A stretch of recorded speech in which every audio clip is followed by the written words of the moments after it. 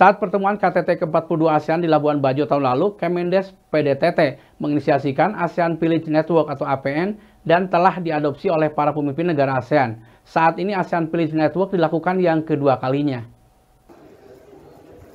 Kegiatan ASEAN Village Network yang kedua, kegiatan ini merupakan salah satu kegiatan dari Senior Official Meeting on Rural Development and Property Eradication atau SOM PRDPA ASEAN yang bertujuan untuk meningkatkan taraf hidup negara anggota ASEAN secara berkelanjutan.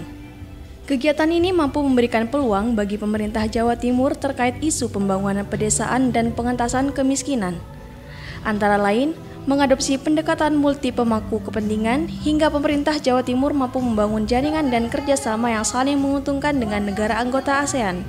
Kedua, antar negara ASEAN bisa saling berbagi pengalaman pemecahan permasalahan desa serta berbagi informasi dalam rumusan kebijakan pemerintah dalam rangka menjawab tantangan global yang dihadapi oleh desa, juga membuka akses internasional terkait potensi desa yang ada di Jawa Timur dengan adanya agenda promosi produk unggulan desa. Desa diharapkan mampu melakukan ekspor impor produk unggulan desa hingga mampu mandiri dan berdaya saing secara global. Memajukan desa dan terfokus pada pariwisata dalam negara yang terkumpul dalam ASEAN, salah satunya di Indonesia.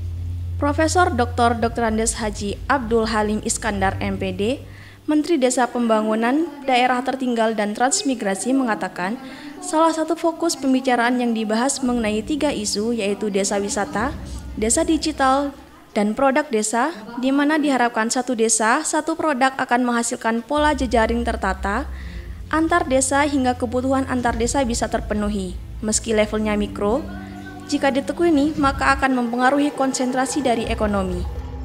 Jadi ada tiga isu, isu uh, desa wisata, desa digital, dan produk desa. Satu desa, satu produk yang kemudian ini diupayakan bisa menghasilkan pola jejaring dan tertata antar desa sehingga kebutuhan supply and demand antar desa itu bisa terpenuhi.